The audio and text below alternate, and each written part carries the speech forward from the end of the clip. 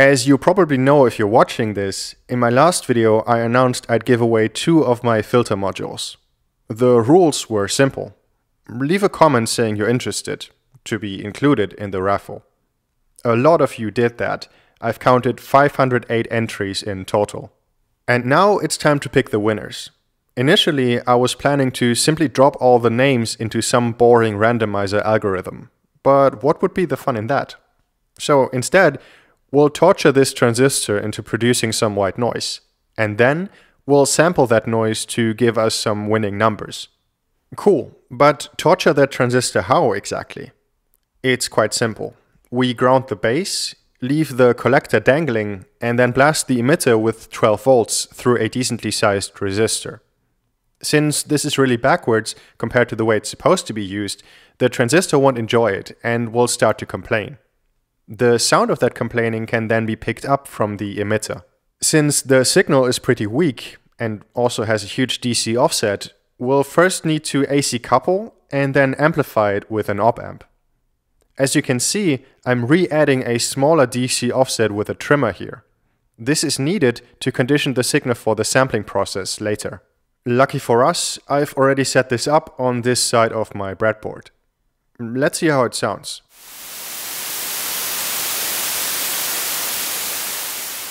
As you can see and hear, the noise is indeed quite noisy. So what next? To extract some sort of information from this chaos, we'll use an old pal that you might have seen in one of my very first videos, the ADC 0820. This is an 8-bit analog to digital converter that's able to transform our noise into binary numbers.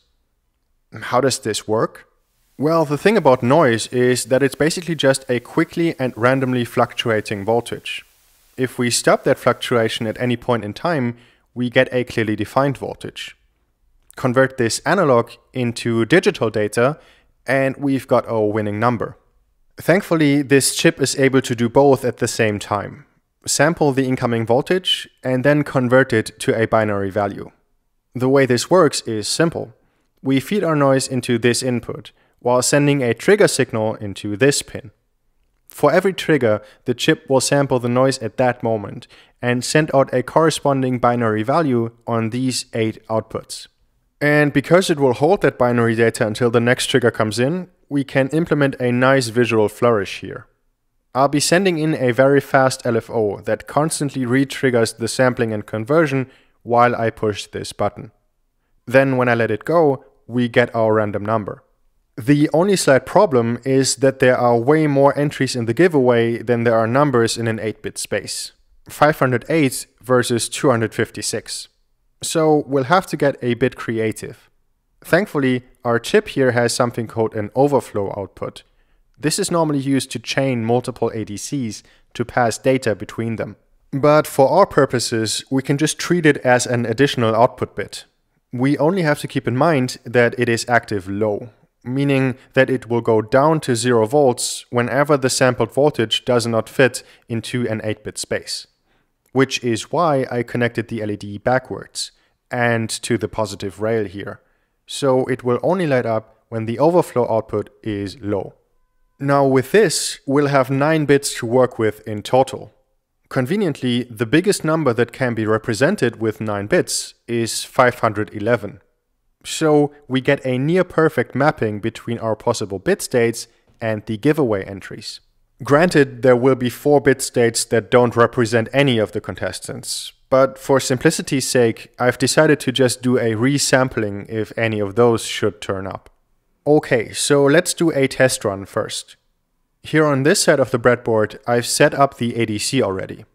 Now all we need to do is connect our noise generator to that ADC. Mm, all set.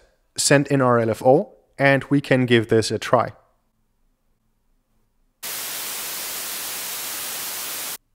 It seems to work okay. Now here's how I decided to do this. In this spreadsheet I have all of the giveaway entries in a pre-randomized list. This will ensure the raffle is fair, even if our circuit doesn't produce perfectly random values. All of the entries are assigned a number, starting with 0, because counting in binary, you start with 0. As I said before, our list ends at number 507, so I've marked the last four entries as invalid. If those come up, we'll resample. But if any of the others come up, then we'll have our winners. Okay, hope you're ready. Here's our first number.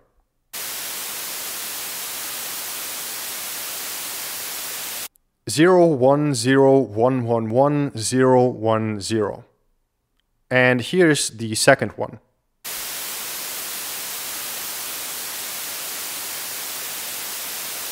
Zero one one one one zero zero one one. The transistor has spoken, I guess. Cool. Now to convert these numbers into decimal, we simply use this formula, where you take the value of each bit, multiply it by 2 to the power of the bit's position, and then add all the results together. And our winners are 186 and 243. Let's see who that is. It's uh, let's see, it's um, it's SB and uh, Robot Dog. Congratulations! Each of you just won a filter module. I'll put a comment under your comments to let you know how to claim the prize.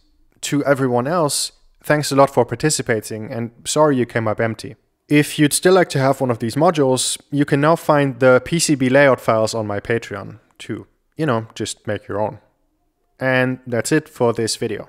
Thanks for watching and until next time. See ya!